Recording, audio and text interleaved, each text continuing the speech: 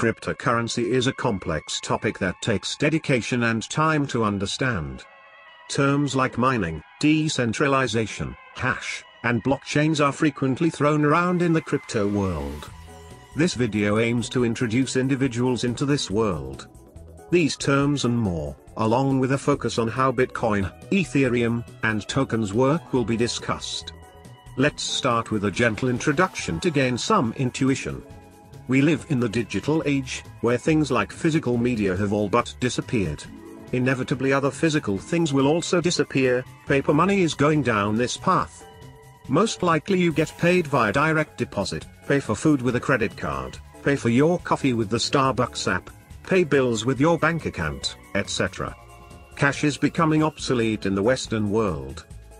Now it is important to understand that even though physical things are becoming digital, centralized powers remain in place. In the past, we rented our physical media at Blockbuster, for example. Now we stream it from Netflix. Both Blockbuster and Netflix are the centralized powers. To purchase things we still use the same currency, and the same institutions are behind the transaction, but instead of exchanging physical money we just move ones and zeros around in the digital realm, but again centralized powers remain in place, namely the banks. Cryptocurrencies aim to remove this centralization in our increasing digital world. This is what is meant by decentralization. You may be asking, what does that look like?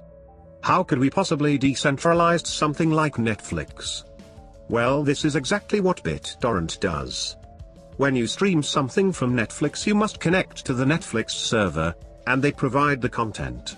If Netflix goes down, then say bye bye to your Netflix and chill night, well at least the Netflix part. When you download a file with BitTorrent, you connect to many computers that have the file you want. Movies, music, software, and any digital file are just a bunch of binary code and you download a little bit from each computer, and then put it all together in the end. If one computer you are downloading the file from goes down, it's no big deal, usually someone else will have that piece.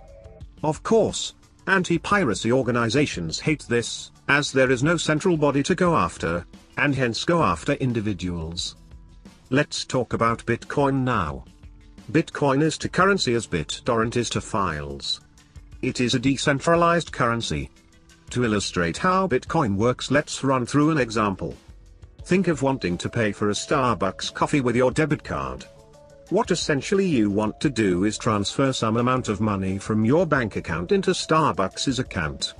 You swipe your card, a connection is established to your bank's servers which has a list of everyone's account and how much money they have in that account. This list is called a ledger. The proper amount is deducted from your account, and added to Starbucks's. In other words, the bank's ledger is updated to reflect this transaction. Without the middleman, in this case your bank, the transaction would not take place. Which means, that if the bank server went down, just like our Netflix example, you could not make use of the service. Similarly, if you want to purchase something online, one frequently uses PayPal, a trusted third party.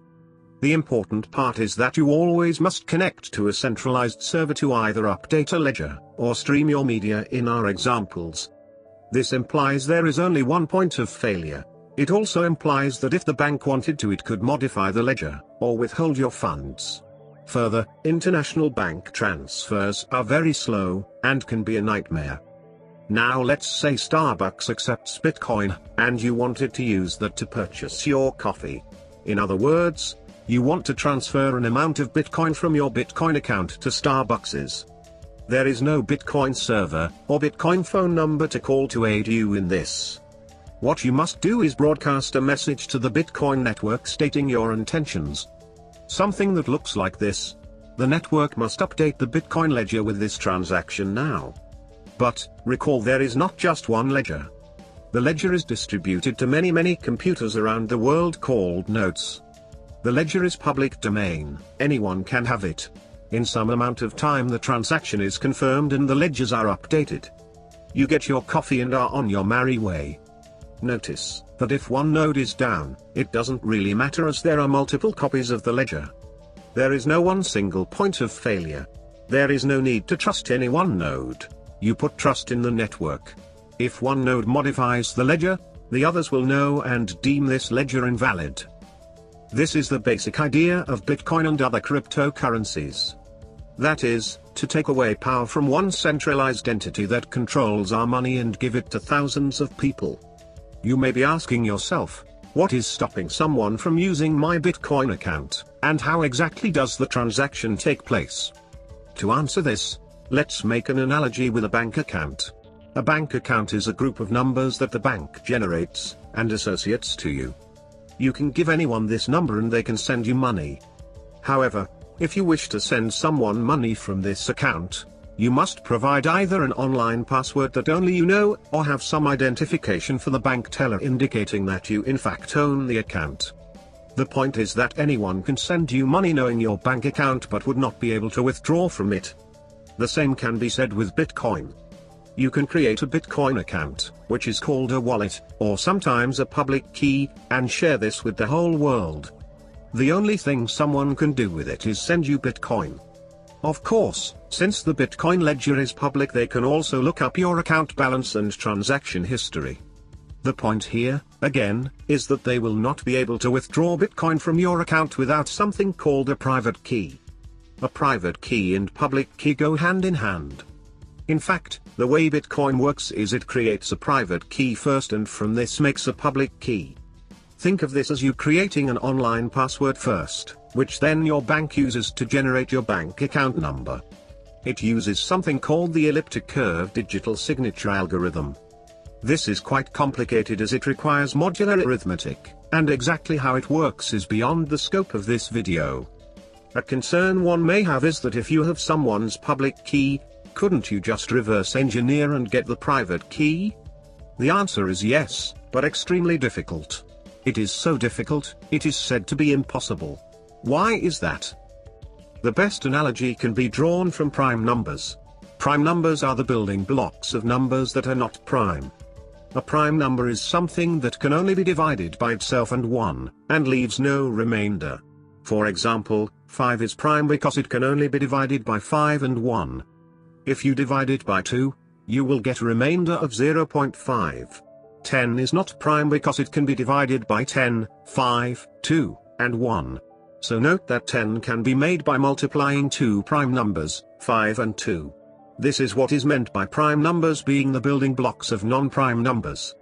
Now say I give you the number 987,654,321, and ask for the prime numbers that make it up. This is a very hard problem to figure out. In fact, 987,654,321 is made up by multiplying 3 by 3 by 17 by 17 by 379,721. All these numbers are prime. Now say I give you the prime numbers 5, 7, 13, and 19, and ask for the number these building blocks produce. It is quite easy to grab the calculator and get the answer of 8645. To come back to Bitcoin and draw the analogy, the prime numbers are like the private key that are initially produced, and the number they build is like your public key. The takeaway is that anyone with the private key to an account controls that account. Just like anyone with an email password controls that email. But public keys are only good for receiving, just like an email address. The question is raised now how one proves they are indeed the owners of their account when sending a transaction. As was already stated, a transaction must be broadcast to the Bitcoin network. Obviously, one doesn't want to broadcast their private key, but still must prove they own the account. This is where digital signatures come into play. Say Batman wants to send Robin 1 Bitcoin for a job well done. Batman will need Robin's Bitcoin public address and the amount he wishes to send. This is then hashed together.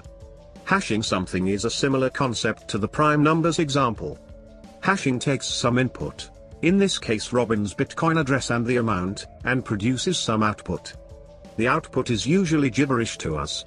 The key concept is it is extremely difficult, if not impossible, to get back the input from the hashed output. Bitcoin uses something called the SHA-256 algorithm to produce its hashes. Here is the word Batman hashed with this algorithm. Again, if I gave you this hash and asked what input gives me this, it is next to impossible to get the word Batman back. So back to the example, Batman hashes together Robin's public address and the amount, and gets the following, which is called a digest. He then takes this digest and adds his private key, and then hashes it again. The final hash is the digital signature. He now broadcasts this to the Bitcoin network. The network will now use a verification algorithm using Batman's public key in the digital signature. Essentially it is another hash that will return the digest. The network also takes the original message and hashes it. If both hashes are the same the transaction is valid. The next concept to talk about is mining. Bitcoin needs to verify transactions, as stated with the Batman example. Verifying these transactions requires computers, computers require power, and power is expensive. There must be some incentive for people to do this verification. The incentive is Bitcoin. Bitcoin is quite valuable right now, so many people want this reward, which in turn is good for the Bitcoin network as one person or group doing all the verifying leads to centralization. Bitcoin wants to distribute this work to many computers around the world and them to verify at random. The way Bitcoin achieves this is through hashes, which we just discussed, and what can be thought of as blocks. Blocks are nothing more than a group of transactions. So along with Batman's transfer to Robin, let's say Iron Man transferred 20 Bitcoin to Thor, Spider-Man transferred 2 Bitcoin to Doctor Strange, and so on. The transactions are quickly confirmed to be valid individually, or they would get rejected from the block and then are hashed together along with a guess called a nonce. Hashing this all together produces the gibberish we have previously seen.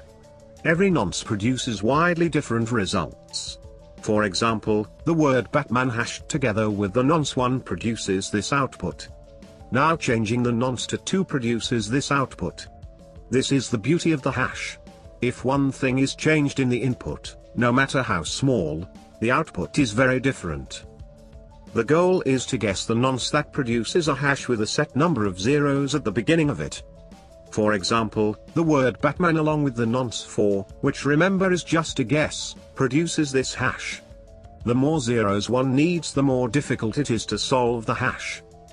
Finding the nonce that produces two zeros at the beginning of the hash is still quite quick through trial and error, but already getting more difficult. The answer being 251.